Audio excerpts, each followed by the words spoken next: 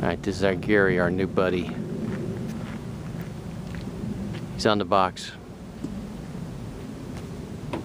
Practice swing, crowds on their feet. It's the sunset.